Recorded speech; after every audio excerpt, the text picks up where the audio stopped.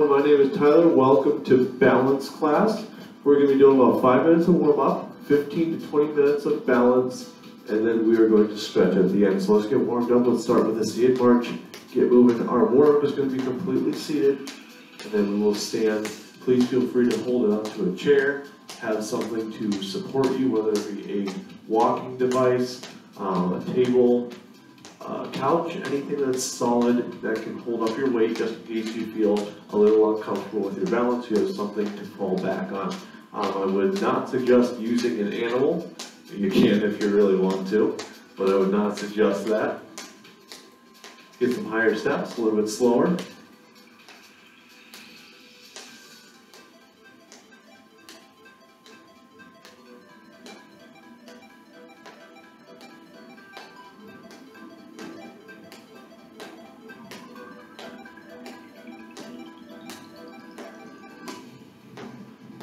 Couple more steps, keep it going.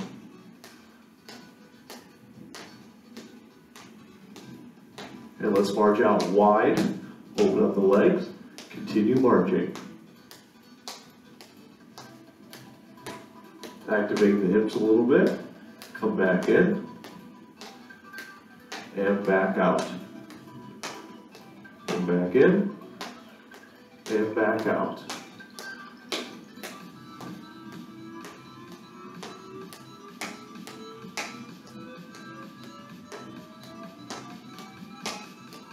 One more time, in and out.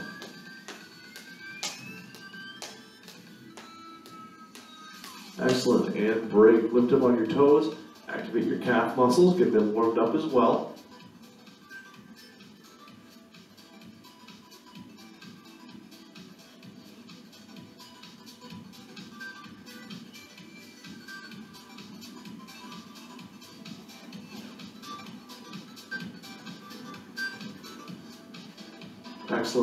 Break here. Sit up nice and tall. Keep your back off the backrest of the chair. And we're gonna warm up the front of our shins, our anterior tibialis. So the opposite of our calf muscles, lifting up your toes now, keeping the heels planted on the ground.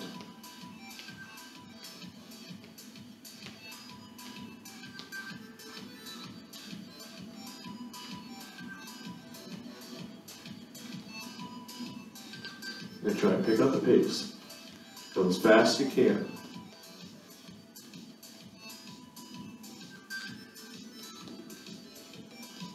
There's five, four, three, two, one, and relax. Lift up on the toes.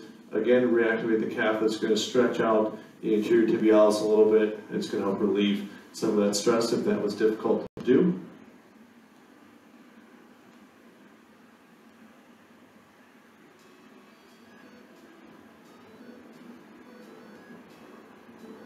Excellent. We're going to move into our sit to stand. We're going to do five sit to stands. On the fifth one, you can stay standing. We're going to go behind our chair and we're going to start our balance. And we're going to start our uh, balance training. So, sitting forward in the chair, as far as you can, sit up nice and straight. Feet about shoulder width apart, so nice and wide. Make sure knees are aligned with your feet. I don't want your knees way out or knees especially dipping in because this is really easy to do. Make sure your knees are aligned with your feet. Now there's a couple different ways you can do this. I'm going to show you some modifications and then I will let you go ahead and work on your sit to stand. So you can either cross your hands over your chest, leaning forward, nose over toes, weight into the heels, and stand up. This is option number one. Option number two is the exact same idea, but this time hands are out in front. Option number three is hands on the knees and using your knees as support to help yourself up. Now, if any of these are difficult, maybe you have difficulty standing, what I'd like you to do is either use your chair or whatever you're sitting in or your knees and try to activate your muscles and get an inch off the chair and come back down. Just a simple motion is activating my quad muscles and, and uh, getting them ready for when I do feel comfortable and when I build those muscles enough that I feel comfortable to fully stand. So go ahead and choose the modification that feels best for you. Again, we're going to do five of them. On the fifth one, stay standing. Choose the modification that feels best for you. Nose over toes, hinging at the hips. Weight to the heels, stand up. And back down nice and slow, no flopping in your chair.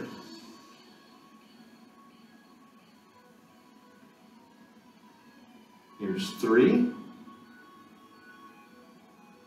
and four. On this one, go down really slow. Take your time, activate those quads and glutes, and sit down. Excellent. Number five, and stay standing on this one. Go ahead and get to the side or behind your chair. Scoot mine a little bit closer so you can still see me in the camera. Stand up nice and tall. We're gonna start basic balance and we're gonna slowly get more advanced as we go. Make sure whatever you're using for a balance support is always next to you. Don't let it get far enough away that if you lose your balance, you can't hold on to it. And I will give proper modifications for every single one of these exercises that we do. So let's start with our rhomboid, excuse me, not rhomboid, Romberg stance. Feet together, stand nice and tall. If you can, try crossing your hands over your chest. This is gonna be the most difficult move of the Romberg stance. If you need support, try placing one hand on your chair, but challenge yourself today. So if you normally do one hand on the chair, try taking off a couple fingers. That'll make it a little more difficult. If you normally have two hands on the chair, again, try taking out one hand off or just a couple of fingers off, holding them in this position. If you can't, try crossing your hands over your chest for the complete Romberg stance.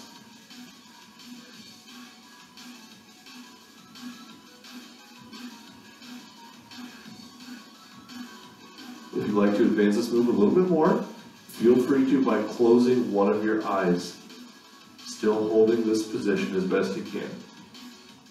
Even if you're holding onto a chair, if you don't feel confident crossing your hands over your chest, completely letting, completely letting go, you are feeling pretty confident holding on with either one or two hands on the chair, you can also try closing one of your eyes to make it a little more difficult for yourself, so that way it's challenging, but not so challenging that you lose your balance.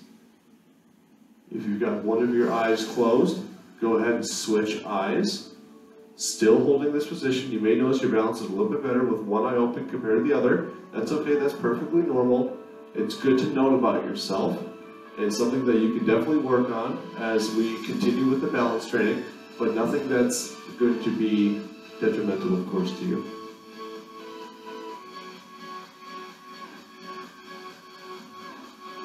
Excellent. Well, up your feet. Let's try to do a standing march. You're going to involve your arms. We're going to balance. Feel free again to hold onto your chair. Just swing one of your arms. That's okay.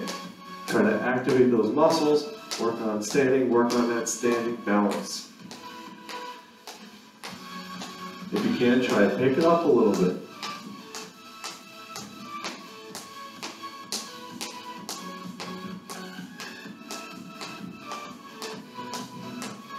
Five,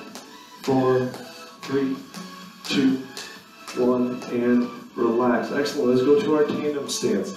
One foot directly in front of the other. If you'd like to, separate your feet just slightly so they're not directly in front of each other, but one still up front. If you can, place your heel right next to your toes, holding this position. Try to uh, evenly distribute the weight between both feet. Again, if you need one hand on the chair, please put your hand on the chair. I've got my chair right next to me, so in case I do lose my balance, can grab onto it and it's going to support me. Stand up nice and straight. If you'd like to, again, you can cross your hands over your chest to make this a little more difficult. If you're feeling very confident in this tandem balance, try doing a body rotation. Keep your hips in place, just rotating your upper body. So go ahead and choose whatever feels best for you. Hold this position.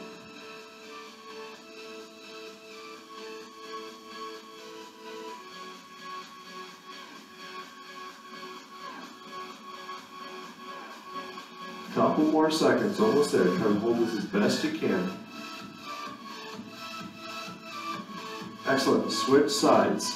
Other foot now up front. Again, if right if foot right in front of the other is not comfortable for you, go ahead and separate just slightly so we get a semi-tandem stance. If you can, one foot directly in front of the other, staying nice and tall. Again, if you want to advance this, hands on the shoulders, crossing over the chest. If you need one hand on the chair, hold on to the chair. If you need two, try challenging yourself by taking one hand off the chair or just a couple of fingers, whatever you're able to do. If hands over chest is still not enough advanced for you, you want another progression, hands out in front as if you're holding something. I to think about a basketball. I enjoy playing basketball in free time. And rotation, keeping the hips in place. Again, that chair is always there if you need it. I'll be using that chair every once in a while. My balance is not perfect, that's for sure. I've got plenty of balance work to do for myself. Find the modification that feels best for you. Hold this position for a couple more seconds.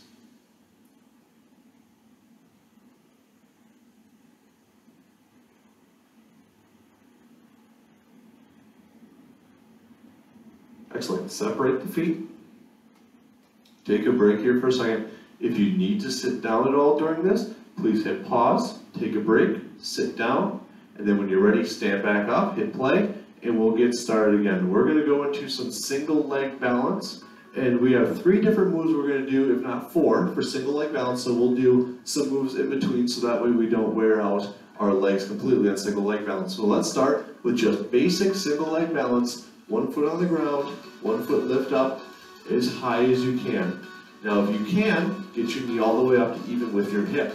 If you're unable to, just keep it off the ground wherever's comfortable, wherever that may be. Again, chair is nice and close to you, so you have that to hold on to if need be. Now, if you have one hand on the chair, I ask, especially during this move, you don't death grip it. I don't want any white knuckles. So try to relax on there, relax your hand on there, and focus on your hip and quad muscles and leg muscles to hold you up. You can place your hands wherever you would like. I like mine in the prayer position. That's my favorite position to hold for balance. But you're free to put your hands out to the side or out front or wherever is comfortable for you so that way you feel most confident in this balance move. Go ahead and relax down. Switch sides, same thing. Try to lift that leg up as high as you can, holding this balance position.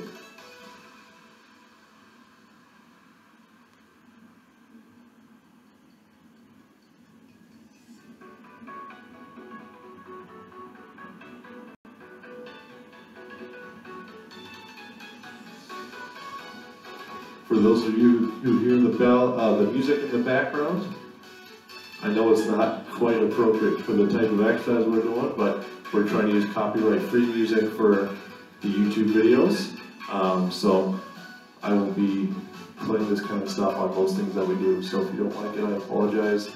Um, look forward to other stuff that we can find eventually that's a little more a little more calming, a little more peaceful than the upbeat stuff, especially when balancing. Go ahead and put your foot back down, separate your feet again, take a break here for a second, and we're gonna go into some weight transfers. For this weight transfer, what we're gonna work on is our heel-toe walking pattern. If you have a cane or a walker or any other type of walking device, it's very easy to become flat-footed where you don't do the normal walking heel-to-toe pattern. So what I'm gonna do is show you a basic way that you can practice that to get back into it if you've lost that ability to do heel-to-toe walking, or if your balance is not great when you're walking, something you can do to help improve that. So one foot in front of the other, separated. I don't want them one foot in front of the other like the tam stance. Keep them separated. And I don't want them way separated. I don't want you into a lunge. This is not what I'm looking for. I'm looking for a normal walking distance apart. So I've got about my stride length here. And what you're gonna do is lean your body forward, transfer the weight to the front leg, back leg, you're gonna lift up on your toes. Now transfer the weight back to the rear leg, front, front leg comes up onto the heel. Forward and back, transferring that weight, activating our leg muscles, working on our balance, and improving our heel-toe walking pattern. You can also do this holding onto a chair It's perfectly fine as long as you feel comfortable with holding on um, over not holding on to anything. And plus, if you already have a walker or use any type of walking device, holding on to that and practicing this position will help you know how it's going to feel when you're actually holding on to it and you have to walk. Couple more movements here. Excellent, let's switch sides, same thing, other foot in front for a normal stride length. Transferring the weight forward, up on the toes, transfer weight back on the heels. Again, that chair is right next to you if you need it, or if you're holding onto it, that's okay as well. Excellent, keep moving, working on that walking pattern.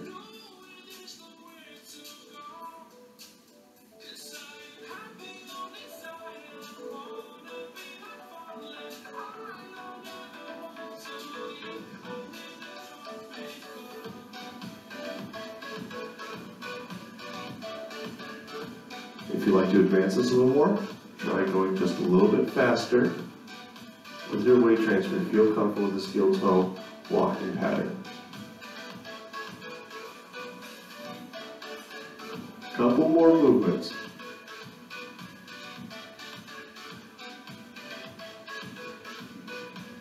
There's three, two, and one. Excellent, separate the feet again. We're gonna go back into single leg balance. We're gonna make this a little more difficult. We're gonna do some hip rotation. So lifting up one leg, just like we did a single leg, and now rotating out and coming back in. Keep the shoulders square, so that way we're not rotating our whole body. I just want you to rotate your hips and activate your hip muscles. Again, placing your hands wherever is comfortable. Now this is difficult to do. Feel free to place your toes on the ground and rotate in and out. This is still activating the hip. It's still difficult to do. It's still going to improve your balance because you're on your toes, but it's not going to be as difficult as if your foot's off the ground. Now, if you're feeling tired because we've been doing a lot of work so far, grab your chair, have a seat, keep your leg off the ground, rotate out and back in. This is still going to be activating the hip. It's not going to be as much balance, but at least you'll be able to activate the hip. Please choose a modification that feels best for you. If you feel like you're gonna lose your balance, you're gonna notice me doing this a couple times because I'm not very well balanced in this position. My foot's gonna tap the ground every once in a while to make sure that I keep my balance and I don't fall over. That's perfectly fine. It's okay to tap your foot to the ground.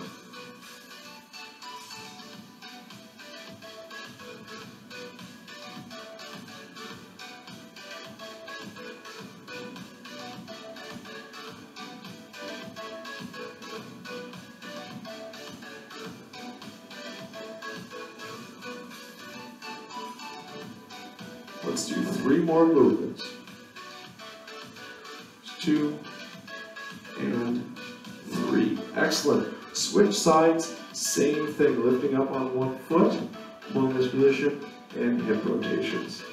Please choose the modification out of the three that were given for you, that works best for you. Again, please, if you feel like you're gonna lose your balance, tap your foot on the ground when you feel good, ready to lift up, and move again.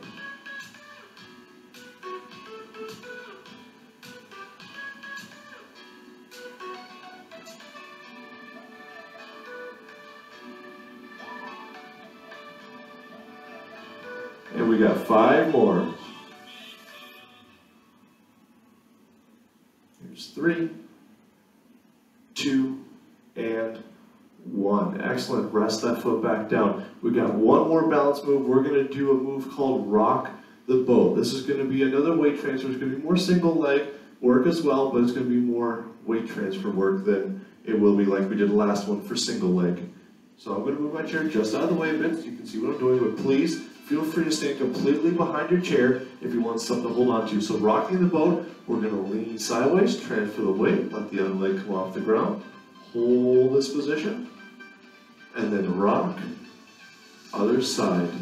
Have that chair next to you all the time, you can hold on to it.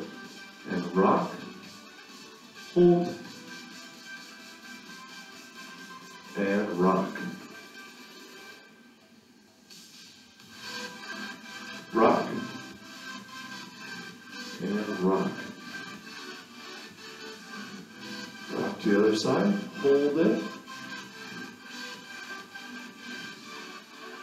and rock to the other side again. Hold this position. Switch, rock the boat. If you've ever been on a boat in a storm, I've never been personally, but if you have been, I'm sure you know what this feels like very well. rock again.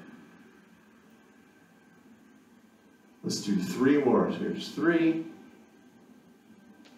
and three, rock, two,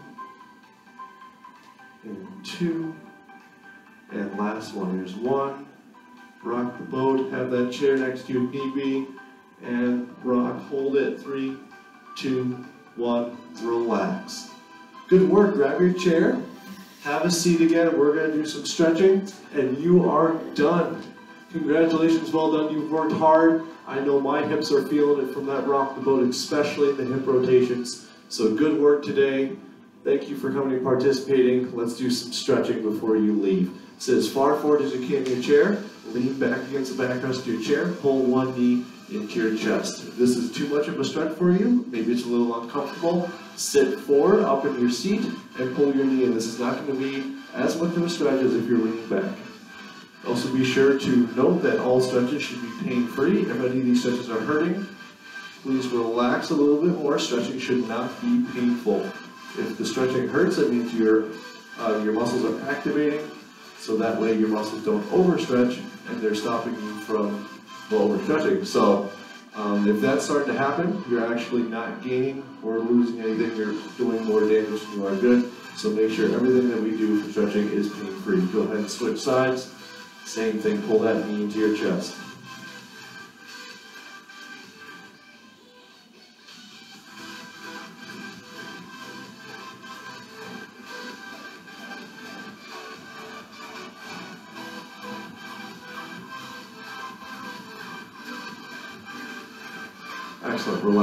Sit back up, make sure your back's off the chair and shoulders are in place, chest up.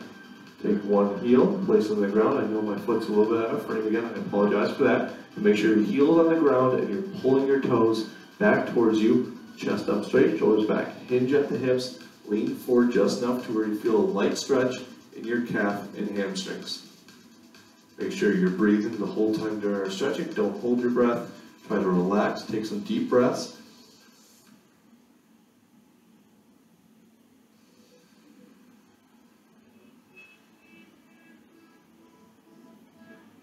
Excellent, let's switch sides. Other heel on the ground, pull the toes back towards you, chest up, hinge at the hips.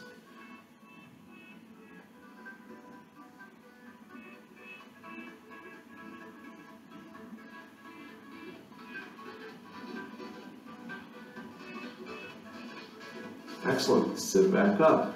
Let's do our hip stretch. If you've seen any of my other videos or any Savannah's previous videos, you'll know some of the modifications for this hip stretch, but let's do a quick recap of those so that way you're familiar with them before we start. So you can either place your foot on top of your knee for a complete stretch. If this is too difficult, whether it be difficult to get your foot up in this position, you have hip pain or have had a hip replacement, go ahead and place knee over knee and lean forward. You're still going to be stretching the piriformis hip muscle. Or if these are both too difficult for you, maybe not at that point, maybe not as flexible, go ahead and place your ankles over top of each other, cross your ankles, pull your feet back, lean forward. Please choose the modification out of those three that feels best for you and hold this position. Again, try to make sure you're breathing, take some deep breaths, try to relax. If you want more of a stretch than what we're doing right here, go ahead and lean forward just a bit. I'm not going to be wanting to show you that stretch um, modification because I'm not very flexible. So this is about it for me.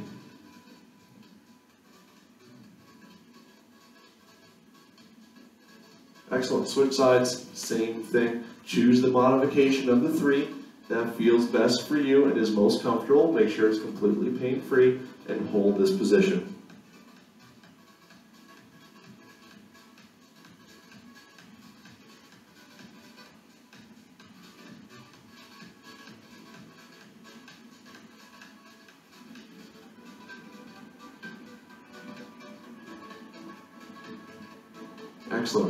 Relax down. One more stretch, we're gonna do our lower back just because that's a very feel-good stretch. And it's always good to do after you've been standing for a while. So open up the legs, just enough to have plenty of room down to the ground. Bring your arms up in the air. Take a nice deep breath in. Breathe out on the way down. Come down to the ground as low as you can go. If all the way down to the ground is too difficult for you this time, Please place your elbows on your knees, holding this position as best and as comfortably as you can. If you are able, come down to the ground as low as possible. Taking some deep breaths, relaxing, holding this position for just a couple more seconds.